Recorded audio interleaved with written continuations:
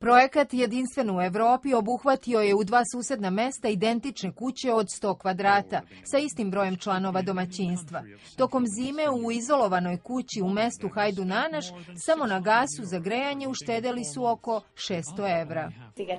Posle izolacije lako je održati temperaturu stabilno na 22 stepena.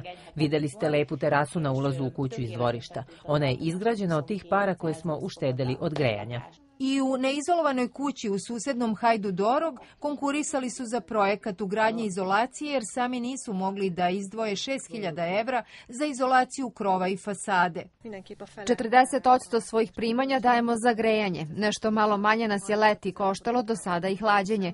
Prijavili smo se za ovaj program kako bi što brže izolovali kuću.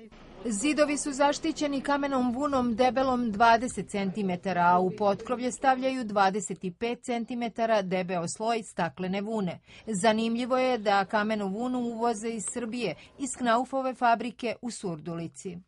Kamena vuna koju uvozimo iz Srbije je prirodni materijal, paropropusna je, nema vlage, zadržava toplotu. Protivpožarni je materijal, a štiti od buke. Primjera radi od prošle godine i u našoj zemlji ugradnja izolacije je obavezna. Koliko je to postojeći objekat koji nema nikakvu izolaciju, e, trebalo bi staviti najmanje 8 cm debljine kamene vune, a ukoliko je u pitanju novi objekat, potrebno je staviti najmanje 12 cm kamene vune. Sa ovim kućama pokazali smo koji je pravila način izolacije.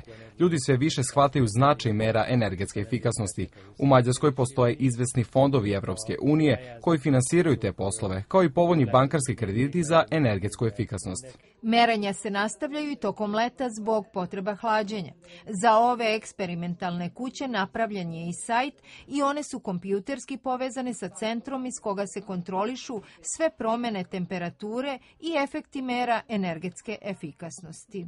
Na tom sajtu se danonoćno prati i potrošnja i uštede energije i energenata u obe kuće, a novi podaci se učitavaju na svakih pet minuta.